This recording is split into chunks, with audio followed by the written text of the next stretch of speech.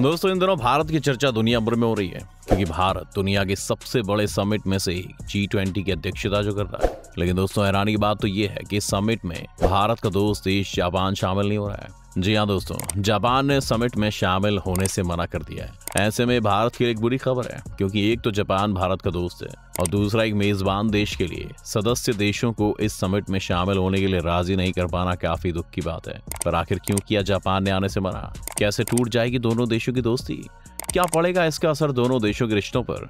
चलिए आइए जानते हैं आज की इस वीडियो में। दोस्तों, इन दिनों भारत जी ट्वेंटी समिट की अध्यक्षता कर रहा है। ऐसे में भारत के लिए एक बड़ा मौका है अपने आप को साबित करने का। इसमें इसके लगभग सभी सदस्य देश शामिल हो रहे हैं। आपको बता दें कि इंडिया में आयोजित हो रहे जी ट्वेंटी सम्मेलन के सदस्य देशों में अर्जेंटीना, ऑस्ट्रेलिया, ब्राज़ील, कनाडा, चीन, European Union, France, Germany, Bharat, Indonesia, Italy, Japan, Mexico, रूस, सऊदी अरब, दक्षिण अफ्रीका, दक्षिण कोरिया, टर्की, यूनाइटेड किंगडम और संयुक्त राज्य अमेरिका जैसे देश शामिल हैं। लेकिन इसमें जापान ने आने से मना कर दिया है। भारत में आयोजित हो रहे जी ट्वेंटी सम्मेलन में जापान इसका हिस्सा नहीं बन रहा है। जापान के विदेश मंत्री ने यह कहते हुए दौरा रद्द कर दिया है कि उनके पास संसदीय काम ज़्यादा है। आपको बता दें कि जापान के विदेश मंत्री योशिमाशा हयाशी ने इस मीटिंग में शामिल ना होकर अपने उप विदेश मंत्री को शामिल होने की बात कही है और इसके साथ साथ ही जापान के अलावा दक्षिण कोरिया ने भी भारत में शामिल होने से मना कर दिया है। वहीं ऐसे में सवाल ये उठ रहे हैं कि आखिर क्यों भारत में आयोजित जी ट्वेंटी समिट में जापान शामिल नहीं हुआ है? दक्षिण कोरिया और जापान दोनों ने अपने विदेश मंत्री के बजाय जूनियर मंत्री को भारत भेजा था। यहाँ तक कि जापान में भी जापान के विदेश मंत्री के भारत के सम्मेलन में न शामिल होने का विरोध जताया था। लेकिन फिर भी जापान के मंत्री ने अपने दोस्तों और अपने लोगों के लिए इस बात को भी दरकिनार कर दिया था। लेकिन जब क्वाड देशों की तीन मार्च को बैठक हुई तो अमेरिका के बुलावे पर जापान के विदेश मंत्री भारत आ गए थे।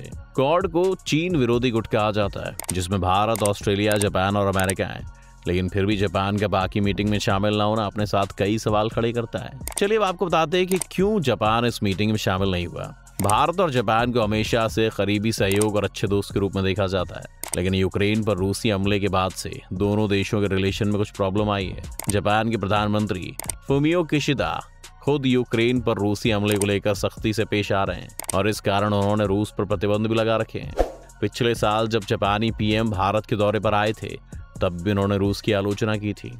लेकिन वही रूस भारत का दोस्त है। ऐसे में कहीं ना कहीं जापान के समिट में शामिल नहीं होने की असली वजह रूस और भारत की दोस्ती है। वहीं जापान ने फैसला ऐसे समय में लिया है, जबकि वो खुद मई महीने में जी सेवन देशों की बैठक आयोजित करने जा रहा है। आपको बता दें कि मई महीने में होने वाले जी सेवन समिट में भारत और ऑस्ट्रेलिया को भी बुलाया गया है। ये दोनों देश जी सेवन के सदस्य नहीं है। लेकिन जापान ने मेहमान के तौर पर बुलाया है। भारत और जापान के रिश्ते हमेशा से काफ़ी अच्छे रहे एशिया में चीन के बढ़ते अग्रेशन के कारण जापान भारत से डिफेंस रिलेशन और गहरे करना चाहता है। लेकिन भारत की रूस से दोस्ती को लेकर जापान काफ़ी अनकंफर्टेबल रहा है, जहाँ जापान ने एक तरफ़ रूस पर पश्चिमी देशों की तरह से प्रतिबंध लगाए हुए हैं। वहीं दूसरी ओर भारत इंटरनेशनल फोरम्स पर हमेशा ही रूस की निंदा करने से परहेज करता रहा है। माना जा रहा है कि रूस की दोस्ती की वजह से ही जापान ने ऐसा कदम उठाया है। वहीं जापान के साथ ही दक्षिण कोरिया ने भी ऐसा ही किया है। जी हाँ दक्षिण कोरिया के विदेश मंत्री ने भी मीटिंग में आने से मना कर दिया है और इसकी वजह अपने डोमेस्टिक लाइबिलिटी यानी कि देश के लिए अपनी जिम्मेदारियों को बताया है। ऐसे में ये भारत के लिए एक बड़ा झटका है। क्योंकि एक तरफ़ जहाँ जापान की भारत से काफ़ी अच्छी दोस्ती है, वहीं दूसरी तरफ़ दक्षिण कोरिया भारतीय अर्थव्यवस्था में सबसे बड़े निवेशकों में से एक है। जापान के साथ साथ पश्चिमी देशों की तरह दक्षिण कोरिया ने भी रूस पर प्रतिबंध लगा रखे हैं। ऐसे में खबर भारत के लिए अच्छी नहीं है।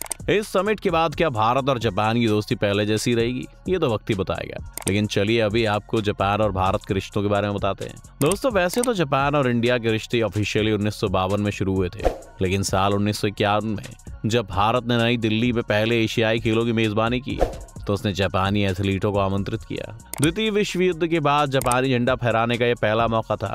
जापान और इंडिया के रिश्ते हर क्षेत्र में अच्छे हैं, चाहे वो पर्सनल हो या प्रोफेशनल। और खास तौर से प्रधानमंत्री नरेंद्र मोदी के बाद से तो और भी ज़्यादा। चलिए पहले आपको जापान और भारत के प्रोफेशनल रिश्तों के बारे में बताते हैं। डिफेंस रिलेशन दोस्तों, भारत और जापान के बीच डिफेंस एंड सिक्योरिटी पार्टनरशिप्स। पिछले कुछ सालों में धर्म गार्जियन।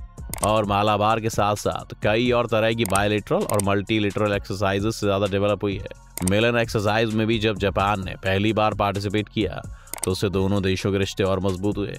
आपको बता दें कि धर्म गार्जियन भारत और जापान की डिफेंस फोर्स द्वारा आयोजित की जाने वाली एक्सरसाइज सीरीज़ है। इसके साथ ही जिमेक्स नेवी के लिए शिन्यू मैत्री एयरफोर्स के लिए आयोजित की जाती है, जबकि मालाबार संयुक्त राज्य अमेरिका और ऑस्ट्रेलिया के साथ की एक्सरसाइज है।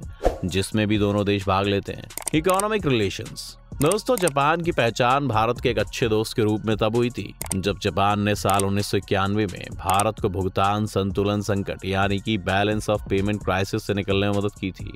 और पिछले कुछ सालों में जापान और भारत के बीच आर्थिक संबंधों का लगातार विस्तार हुआ है, और उनमें मजबूती आई है।